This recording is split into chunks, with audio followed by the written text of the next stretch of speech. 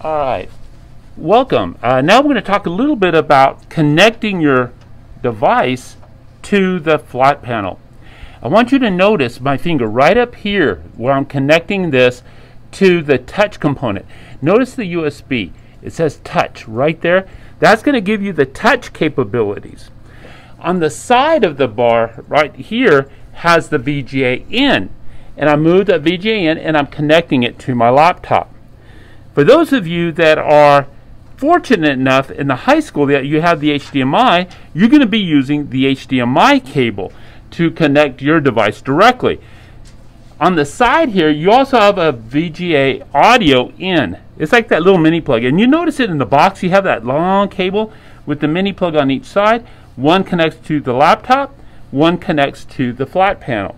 So make sure you do take a look at that also. If you want the audio, come out from the flat panel.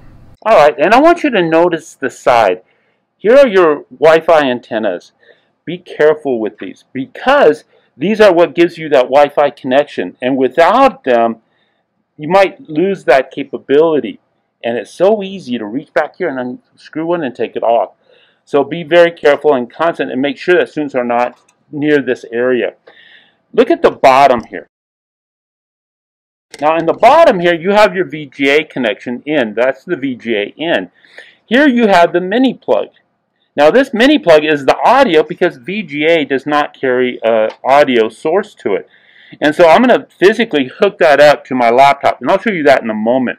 And underneath here, you have the different video components. Now, yes, you have the VGA here, but you have the HDMI connections down here.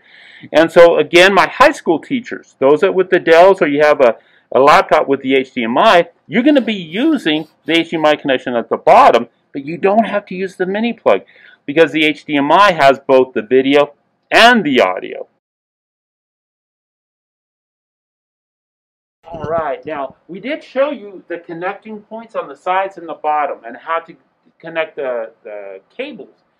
And so some of the things that you're going to have is you're going to get a little box. It's going to have the USB cable. Remember, that's the one with the touch.